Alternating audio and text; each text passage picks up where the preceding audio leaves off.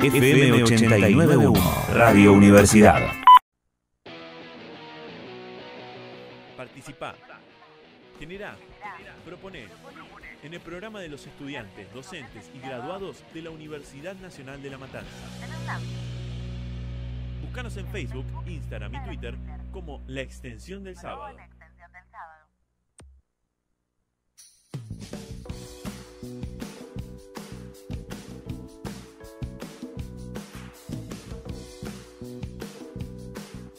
Nueva hora en la extensión del sábado, 5 y 5 de la tarde, ¿sí? Y nosotros continuamos con toda la información relacionada a la Universidad Nacional de La Matanza. Y te contamos hace un programa, dos programas, me parece que el 28 de mayo pasado hubo un, taller sobre formas de protección mediante patentes y marcas en la UNLAM. Eh, la verdad que como habíamos anunciado con Agus, es un, taller me parece súper útil para, los emprendimientos, para los negocios, eh, porque me parece que es fundamental saber el tema de el nombre de tu marca, qué cosas tendría que tener eh, cuidado. Y, y, es así que el 28 de, de mayo se llevó a cabo en nuestra UNLAM. Así es, el 28 de mayo estuvo este primer taller que se espera que por supuesto se realice más porque además tuvo muchísimo éxito, sí, estuvo apuntado a estudiantes avanzados, miembros del CEDIT, el CEDIT que es el Centro de Desarrollo e Investigaciones Tecnológicas, conocido como el Polo Tecnológico de nuestra universidad. Eh, así que fue destinado a ellos, pero finalmente se terminó abriendo un poco más a la comunidad porque fue tal el éxito que eh, tuvo que, ampliarse un poquito. Hubo espacio para preguntas, espacios para un poco de también intercambio, eh, muchísima información. ¿sí? Estuvo a cargo de la disertación de este primer taller del ingeniero Pablo Paz, que es un experto en esta materia, más de 20 años en todo lo que es consultoría, capacitaciones, bueno, eh, un, un, espectáculo tener también a profesionales de este nivel ¿no? trabajando en conjunto con la Universidad de La Matanza. Estuvo coordinado este taller organizado por Marcelo Juárez, que es docente e investigador de nuestra Casa de Altos Estudios y también es tutor, está en el sector de tutorías, eh, un docente que doy fe que siempre está pensando en nuevas formas de acercarle a los alumnos em, estas herramientas, estas ventajas, también a cargo de después, en, un tiempo vamos a estar también hablando del eh, rally que se realiza siempre en la universidad. Hemos hablado ya en un momento, Nico, de estos talleres que son así eh, maratónicos y que siempre nos, posicionan excelente por parte de, alumnos y alumnas de esta, de esta universidad. Lo cierto es que estuvimos en comunicación con ellos, charlando eh, un poquito, y por eso trajimos la palabra, trajimos algunos eh, recortes de, de, la entrevista que hicimos para poder escucharlos en primera persona, ¿no? que ellos mismos nos cuenten de qué se trató. Así que invito a que escuchemos primero a Marcelo Juárez, que nos va a contar acerca de qué se trató esta, este taller de protección de patentes y marcas. Así que vamos con él. Nosotros desde, desde el CEDIT, que es el polo tecnológico de la universidad, este año eh, empezamos a trabajar con toda la parte del equipo de emprendedores y estamos organizando actividades que se van a ir desarrollando a lo largo del año. Principalmente eh, en esta primera etapa, que fue la primera actividad que realizamos este año, la idea era tener un contacto eh, con alumnos, digamos, del ciclo básico superior, principalmente de ingeniería, pero de otras carreras que se fueron anotando, y que se acercaran para ver cómo se podía registrar, si alguno estaba con un emprendimiento, su marca o bien una patente. Para eso eh, lo convocamos a, Pablo, eh, como para que, conociendo del tema, eh, pudiera hacer un taller eh, en la virtualidad y llegar a, los asistentes como para que supieran cómo es esto de registrar una marca, qué, cosas que hay que tener en cuenta y qué es esto del tema de las patentes. Excelente. Ahí teníamos a, Marcelo Juárez que nos contaba ¿no? un poquito acerca de, este primer momento eh, y, cómo fue también abriéndose a otras carreras, porque si bien como decíamos, eh, comenzó con ingeniería, después esto termina siendo algo interdisciplinario, ¿verdad? Entonces, eh, para eso, sí, también estuvo Pablo Paz eh, contándonos un poquito ya de lleno de qué se trató en sí el este, primer taller. Vamos a escucharlo. Bueno, y en este caso fueron tres horas con el, dentro del CEDIT, trabajando con emprendedores y emprendedores y diciéndoles, comentándoles cómo pueden proteger, qué es lo que tienen que tener en cuenta al proteger, qué no pueden divulgar. Hay muchas reglas que se manejan en el mundo sobre protección de invenciones y también de marcas, ¿no? Que, que sería dentro de, todo lo más, lo más simple la protección de la marca.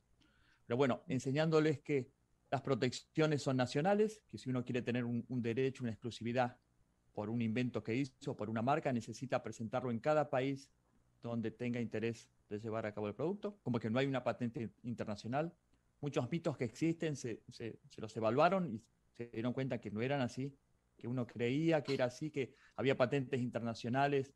Después vieron que había que tener mucho cuidado al divulgar una invención, porque cuando uno divulga, mismo en una feria tecnológica, luego no puede ya patentarlo, porque las leyes de patentes dicen que usted si lo divulgó, dicen que tiene que ser, lo que dicen es que para que algo sea patentable tiene que ser novedoso. Para que te obtenga una patente tiene que ser novedoso. Eso no es así con las marcas, pero con las patentes sí. Entonces, si tienen un, proyecto y muestran en una feria un invento y lo muestran de manera clara y completa, eso les va a impedir protegerlos. Esto que nos cuenta acá Pablo Paz es clave, ¿no? Esta idea de que si uno quizás muestra un invento en una feria, ya eso te impide protegerlo. Entonces, eh, esto es un poco de, herramientas para alumnos que, en este caso, como está pensado desde el Departamento de Ingeniería, tienen base tecnológica, ¿no? Están muy siempre relacionados con lo que son estas exposiciones de eh, inventos, eh, artefactos y demás. Entonces, ya si uno lo presenta, eso ya me impide proteger mi marca y mi patente. Entonces, por eso él nos decía, ¿no? la, idea de mostrarlo quizás parcialmente, como para que después uno pueda ir a, hacer esta marca y, patente, ¿no? Que eso creo que es clave. Así que en esta misma línea nos siguió hablando un poquito más Pablo Paz eh, acerca de todo lo que es también las estadísticas, cómo es esto de registrar. Eh, me interesa muchísimo que, lo escuchemos entonces, que ahí nos va a tirar algunas cifras. Bien. Después vieron que habían bases de datos de patentes de información tecnológica que era muy útil. Bases de datos todas de uso libre y gratuito. Entonces, ¿qué podían hacer con esas bases de datos? Empezar a investigarlas, a ver qué existe en el problema que ellos quieren resolver, de manera, de tal de no reinventar la rueda. En general, 60-70% de las patentes que se presentan en el mundo se deniegan por falta de novedad. Ya existían. Las soluciones que la gente propone, las empresas proponen, ya existían en otros países del mundo, ya existían hace 100 años. Estas bases de datos tienen una información de 250 años. Tienen toda la tecnología del mundo, todo lo patentado en el mundo hace 250 años. Después les explicamos que es muy importante la patente divulgar claramente la invención, que las ideas o conceptos no se protegen. ¿Por qué? Porque ¿cómo surge una patente? Surge que es una solución a un problema, ¿no? Surge porque había muchas invenciones hace 250 años, 300 años, que no llegaban al conocimiento del público, porque quedaban en la casa del inventor o el inventor, en el laboratorio, en el garage.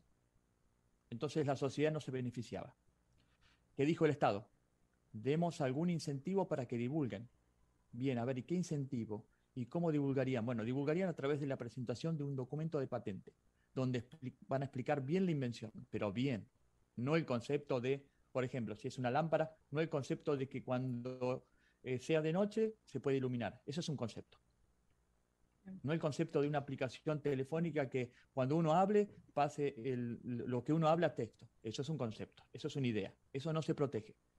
Lo que se protege, que comentamos en el taller, es la forma de llevarlo a cabo. Es cómo lo hago. Nico, no sé si a vos te pasa que quizás eh, a veces no sabes bien, ¿no? Cómo es esto de eh, registrar, cómo es, qué, es lo que se registra, qué es lo que no se registra. Eh, acá Pablo nos nombraba 250 años, ¿no? De registro de datos. Es impresionante. Sí, tal cual. Y además uno, como bien decís vos, Agus, a veces piensa que es un una tarea engorrosa, que burocrática, cosa de hacer imposible. Eh, y no, no, no, me parece que no. Y por eso mismo se, abren este, este estilo de, talleres para, que, para darle al, al emprendedor esa herramienta fundamental para la elaboración de y para, la, para el patentamiento de su producto o lo, que vaya a hacer, ¿no? ¿Sabes que me hace acordar mucho al capítulo de Los Simpsons que Homero crea el tacho de basura que te arregla la, la columna vertebral? Y él tenía ese problema, el problema del, del patentamiento, que, que no, no, lo había patentado y después le terminan robando la idea. Claro, y acá sobre todo lo que, lo que marca no es la diferencia entre patentar un concepto, ¿no? Una, una idea, y patentar un artefacto, no un elemento en sí. Eso también, diferenciarlo, ¿no? No se protege la idea en sí, sino que se protege la forma de llevarlo a cabo. ¿No? Ahí daba un ejemplo con, una lámpara, por ejemplo, ¿no?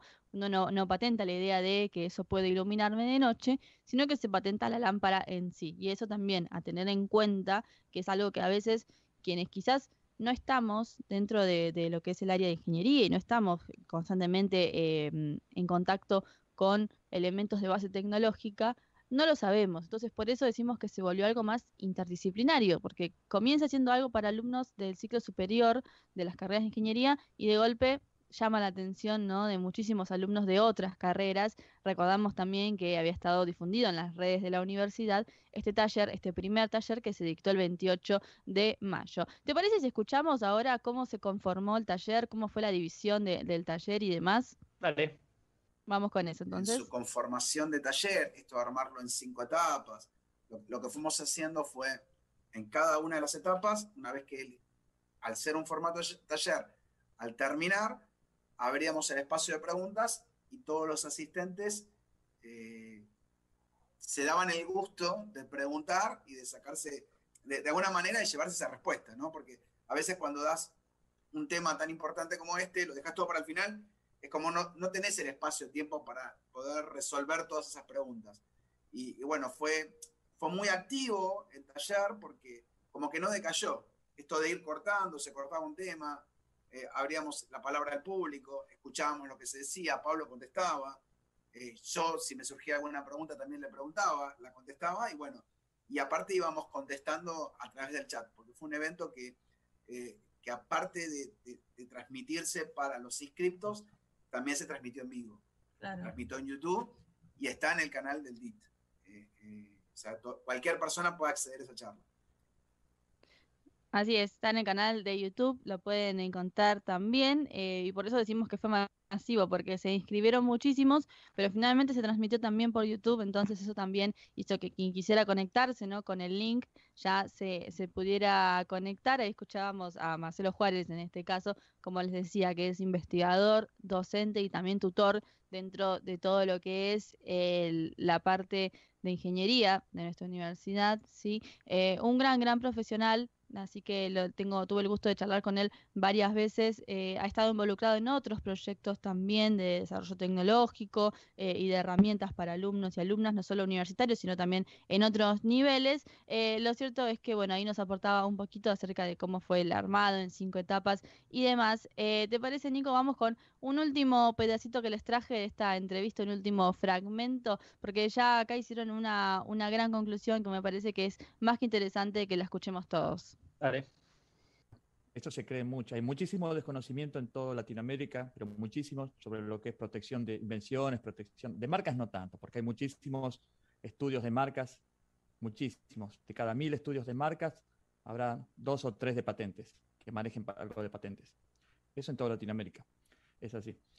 Entonces, muchas veces se cree que un proyecto está relacionado con una patente sola. No, puede haber 500 patentes en un proyecto, 500 modelos de utilidad, otras formas de protección, 500 diseños industriales. El tema es muy amplio. ¿eh? o sea, por cada, por patentes, hay a veces maestrías en patentes de dos años nada más de solamente el tema patentes. O sea, todo da para muchísimo. Porque después está, por ejemplo, aprender a buscar patentes, esto de bases de datos, que son muy amplias, muy completas, pero hay que aprender a buscar. Así es, hay que aprender a buscar, ¿no? Nos decía ahí un poquito Pablo Paz también cerrando. Eh, así que, bueno, esto es un poquito de, información de lo que pasó, ¿no? En este, en este taller eh, que estuvo espectacular. Recordamos un taller sobre formas de protección mediante patentes y marcas, diferenciando qué es una patente, qué es una marca, cómo hago para registrar mi elemento, mi invento de base tecnológica y que se espera que haya muchísimos más eh, de acá en adelante, porque como te digo, Nico, es algo que, que no alcanza para un solo taller, ¿sí? Y lo bueno de contar con profesionales de este nivel, ¿no? Profesionales como Marcelo y como Pablo Paz que viene a disertar, creo que es algo espectacular. Sí, además lo que veo interesante es que lo pueden volver a ver en YouTube y me parece genial que la universidad cada vez haga más cursos y talleres y capacitaciones abiertos así de forma virtual, eh, multiplataforma a través de YouTube, así que eh, celebramos eso. Agus, ¿dónde lo podemos encontrar esto? Esto lo podemos encontrar en el canal YouTube también de, lo que es la universidad y en todas las redes arroba ditunlam con doble I, D, I, I, T, que es todo el departamento de ingeniería y allí hacen todas las difusiones. Desde la Universidad Nacional de La Matanza, Radio Universidad FM 891. Siempre cerca.